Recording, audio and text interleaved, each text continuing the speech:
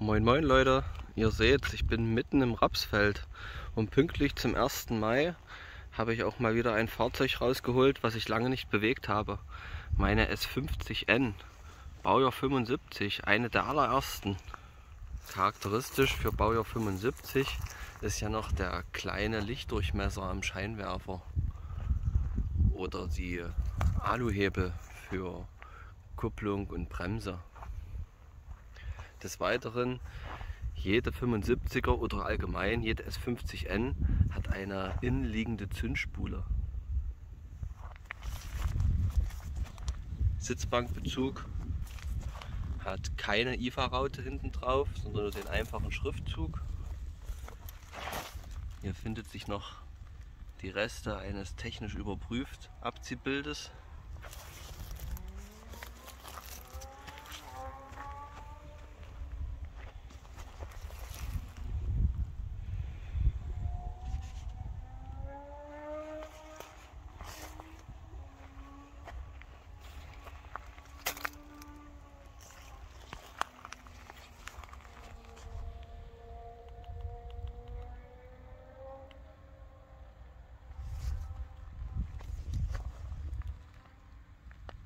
Die Abziehbilder sind mit Einkomponentenharz versiegelt worden, weil gerade am Tank der Schriftzug schon sehr bröselig war. Und bevor er ganz verschwindet, habe ich ihn halt geschützt für die Ewigkeit.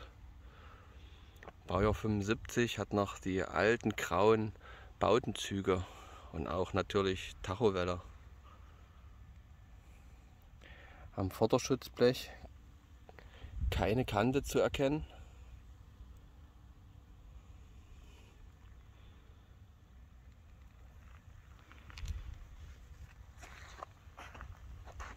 Tja. Schönes Ding.